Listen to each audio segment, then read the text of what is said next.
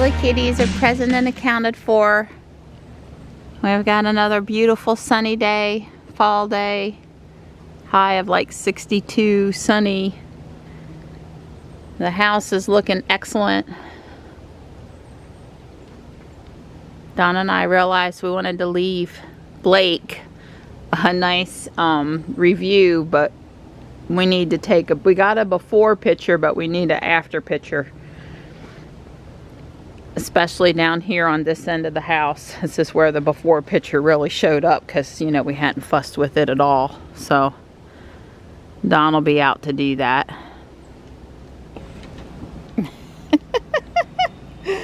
Alright, water's refreshed. And uh, everything is looking good this morning. Hi. Was that your good morning to everybody? Good boy. Good boy. Hi. Hi.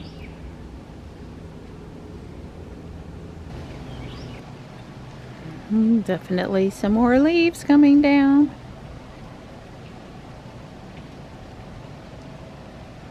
Yeah, we did order another six pack of the lights with eight being down there so far and probably around this curve here. Um, I know the canna lily leaves are fixing to brown out for the winter, but they don't do that super fast. And they would be really pretty illuminated and, you know, especially with Christmas coming up. We'll see. Hi, sweetie pea. How are you? Good morning. Don's got a conference call. He's reminding him I don't know how we could go back to living without reminders and alarms. Hi. Hello, sweet pea. Hi. Don and I are back on the saddle today, walking up here at South Park in the pretty sunshine.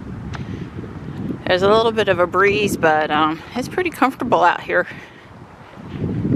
Apparently can't complain about this for a day in November. Still got some pretty color too. That's just ridiculous. If I was the town, I'd close the court until the kids came and cleaned up the court. It's not perfect, but we picked up at least 100 pieces of trash or food, filled that entire bag.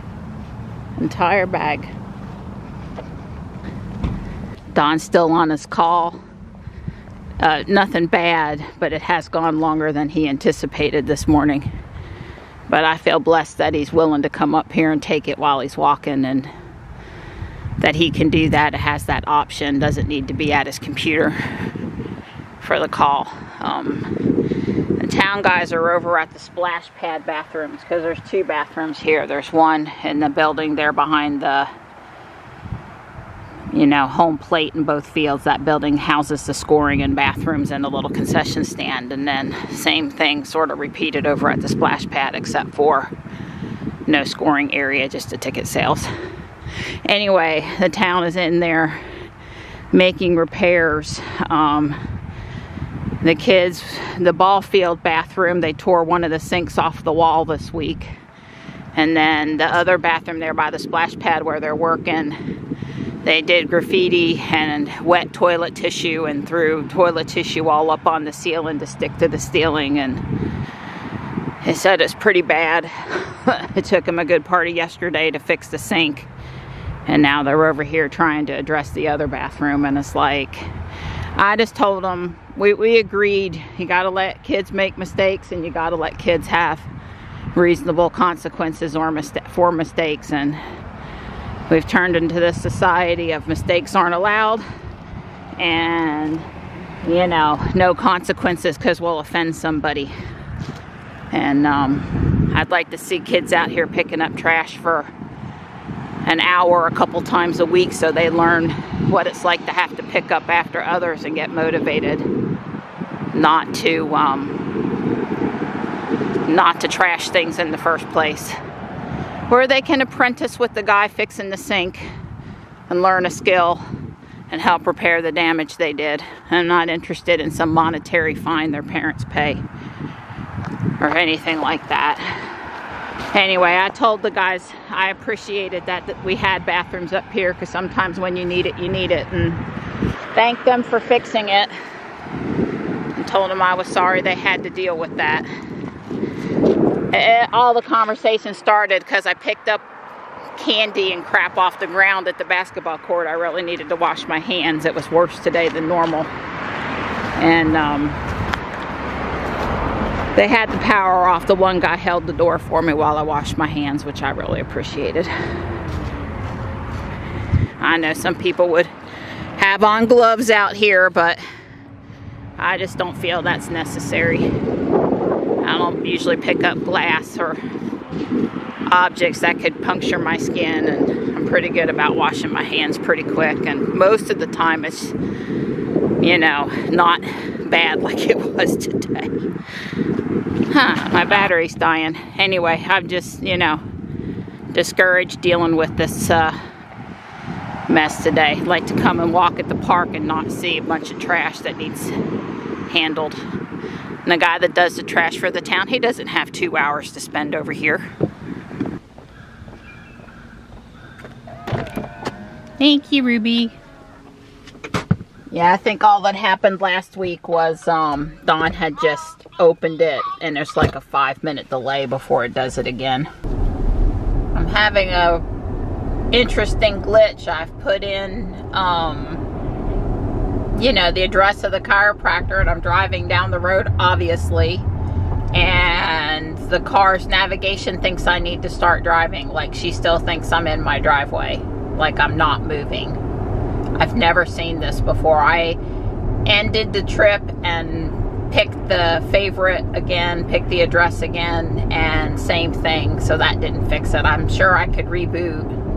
Um, I don't have a lot of cell signal. You can kind of see that in the upper right. The LTE is not fully, but I, I mean, even when I have, the car knew I was moving. So, um, I've got plenty of straight road here. I guess, I guess it's the every Tuesday reboot time. It's not a big deal, but it's just weird. Thought I'd seen it all. Apparently not. Or right when I stopped recording, it figured out I was moving and started doing what it's supposed to do. So, okay. Well, that was a. I might have switched cell towers. Maybe I really. I don't know. But it's um doing something now. It's not like I need directions to this place, but if I want to use full self-driving or I want to know what my arrival time is, it's quite helpful to have the navigation up there, right? I don't navigate in this case because I need the directions. There's a white 3 in the parking lot today.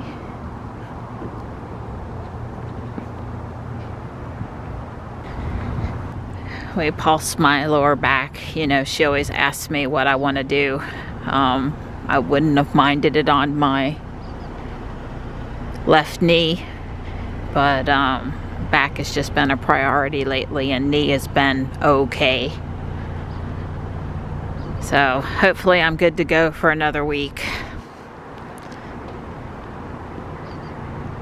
I've got time for a quick week at the good, a quick peek at the Goodwill feeling motivated to run in today to look. Not as crowded as last week, which is good. I didn't find anything today. Considered one or two things and the prices just weren't as good as what I've been seeing in there. So, not today. Uh, Niro from Carvana Eco Hybrid. I'm parked down here by the pretty blue bolt that doesn't move normally while I'm here. There's all of that restoration stuff over there on the far end. There was just no parking over there. I'd like to have the bolt spot next to the stripes, but I'm pretty happy where I am. And still a little walk into the store, not quite as far as usual. I did see a few Teslas in the Hertz fleet over there, but didn't uh, scrutinize for a long time today. That's a nice Rae Dunn piece. I don't usually see it except in white and that's pink. Um, I'm not going to take it, but I like it. I really like that tray and it's only $3, but I have trays and I have extra trays and I can't justify that either. Sadly, no Lego except for these Duplos. I'll get this cute mermaid ornament for Michelle. Oh, here's the Christmas black kitty again. And it's another, it's gotta be a small. It's so small. Darn it, darn it. I was about to leave the parking lot and remembered I need a couple things from Food Lion. Oh, they've closed some of the spots up here at the front of the store um, to make room for Christmas trees. The parking lot's a lot more full than normal and I was trying to figure out what was going on because Thanksgiving week's next week. I won't even come up here by myself next week. Donna have to drive and drop me off uh, because you can't normally park in this parking lot. You have to go someplace else. There's um, They're full at the top of the hill straight ahead where I usually park and where it's usually not full. And then on top of that, there's um, this big truck over here taking up five or six spaces. So I guess I'm gonna back in here. Fresh boxwood. Over here they've done a spot for trees, but they don't have the trees yet. Um, yeah, I didn't film on the way in. I'll tell you about it in the car. There's a blue Model X. Trying to get the AC to calm down. Pushed it up to 74. It's only 66 out there and it wasn't that warm in the car to begin with. Maybe off is what I really need. Don't take away any more of my heat. Yeah, so I was backing into the parking space essentially across the way behind me, and then someone pulled out of here, and I thought with the light pole, there's a cement pole there, this spot might be more preferred because people can't pull through next to me. Anyway, um, there was a man in the parking lot, and he was approaching people as they were putting in groceries into their car, getting out of their car to go in the store. And it seemed to be mostly women that were by themselves. And um, he made me uncomfortable. I was situationally aware and head on a swivel watching him. I've been reading, listening to too many Audible books. Um, anyway, so I let him see that I snapped his picture with my phone, you know, in the landscape position or whatever, holding it up, finger him. It's pretty obvious you're taking a picture, right? And he still approached me and asked me if I could help him with groceries. And if he really needed help, I feel sorry for him. But there's lots of places to go and asking around in the Whole Foods parking lot is not one of them. And so, um, and I especially don't like it when it's guys and they seem to be targeting women that are shopping alone. It just it seemed off to me. So I walked in and then I mentioned it to the people at the service desk and let them decide what, if anything, they wanted to do. And I did not see them when I came out. I'm sitting here, my doors are locked.